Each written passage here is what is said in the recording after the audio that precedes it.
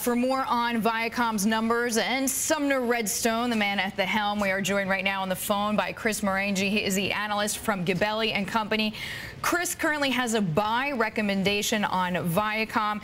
So, Chris, what do you make of the fact, I mean, the EPS numbers of Scarlet just telling us look great, but the company missed on sales. Was it more than just tough comparisons? Yeah, I wouldn't put too much weight in the fact that they missed on sales. Uh, they actually uh, did a little bit better than expected in the media network revenue uh, segment.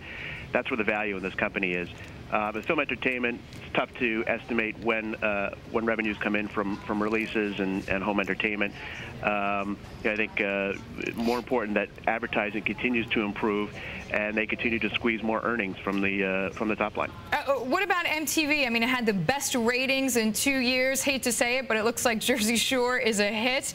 I mean, can they continue to count on programming like that? Yeah, they, there has been a, pretty dramatic turnaround actually last year at, at BET, um, and it uh, flowed through to, to MTV. Um, you know, ratings obviously are the lifeblood of, of any media company, and, and they're headed in the right direction today. Chris, this is Scarlet. Viacom had hinted that it would be cash loaded in the back half of 2010, and some had suggested it might take a cue from Time Warner and initiate a dividend. We didn't get that news in today's announcement, but could a dividend be far off?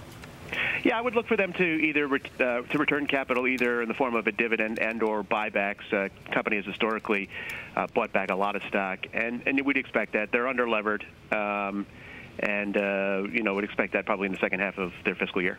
Chris, hard to talk about Viacom without talking about Sumner Redstone once again saying essentially he's going to live forever.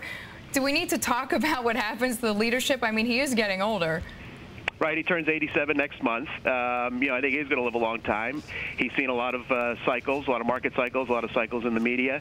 Um, but obviously, you know, one day, um, one day it will happen, and and the and the board will have to decide where Viacom goes next. What's the most likely scenario, Chris?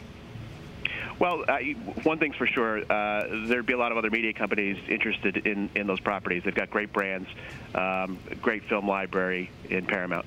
And we know it didn't show up uh, this time around, but How to Train Your Dragon, other big film hits seem to be helping out. What can we expect from the company for the rest of the year? Yeah, the slate looks good for the rest of the year. You never want to predict box office sales. Uh, that's a, a, fool's game. But Iron Man 2 looks like a, a sure thing. Uh, Shrek Forever, uh, which they're distributing, also should do well.